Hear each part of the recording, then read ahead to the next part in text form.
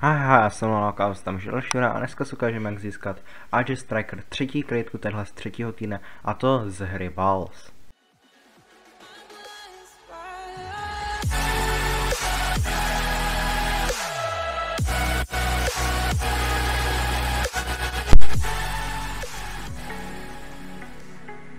Připojíme se do hry Balls, kterou máme v popisku videa.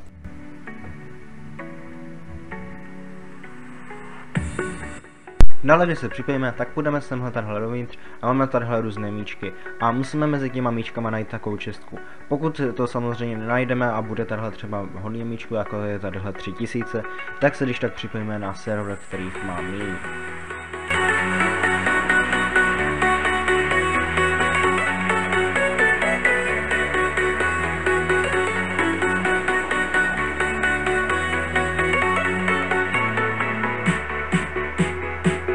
Dále, když ty čistky tadyhle uvidíme, tak ním stačí přijít a spamovat Ečko. Musíme to Ečko zmačknout 20krát, protože je úplně nová čistka, protože ta čistka tam totiž spadne a to musíme kliknout Ečko, aby jsme si ji mohli sebrat. Akorát tam má 20 bodů, takže 20krát musíme kliknout Ečko, aby jsme si ji mohli sebrat. A hned jak to uděláme, dostaneme Barget a event máme hotov.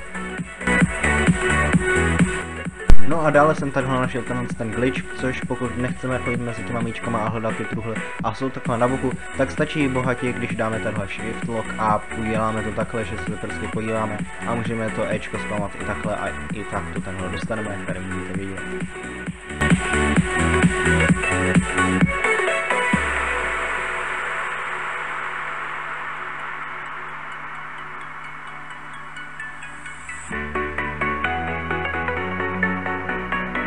A dále se můžeme jít podívat na tu čestku a jak na nás bude vypadat.